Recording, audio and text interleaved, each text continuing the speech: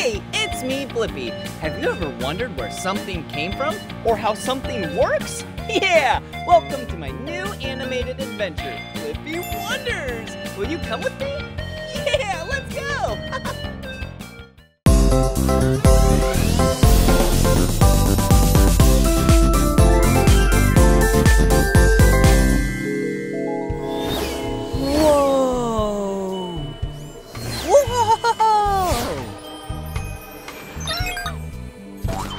Whoa, Tabs! That bouncy castle is out of this world!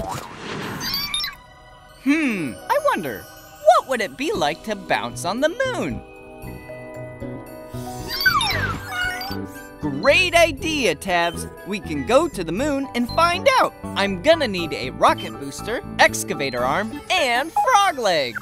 Jets, excavator arm, frog legs, confirmed. Okay, let's go explore!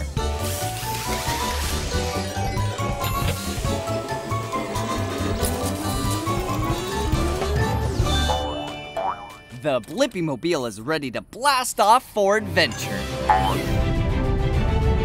And there's the moon! yeah! Okay, time to land. Hey, that tickles! Who are you? My name's Rocky the Moon Rock because uh, I'm a rock. Hey, Rocky. It's me, Blippi, and this is Tabs. We're here to find out what it's like to bounce on the moon. Hmm, I never tried it myself, being a rock, but let me see if I can uh, uh, just uh, get up.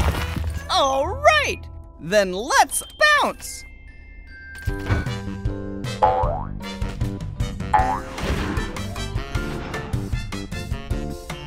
Cha, cha, cha, cha, cha. I'm light as a feather up here. I never knew I could have been having so much fun!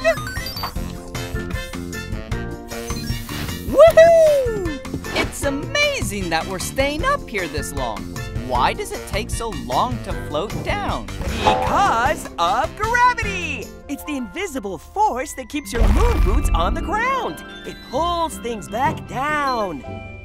But, but, but, there's way less gravity around the moon than on Earth because the moon is so much smaller. That's why we float for so long. I have the answer to my question. What would it be like to bounce on the moon? It's so fun, and the bounces are really big.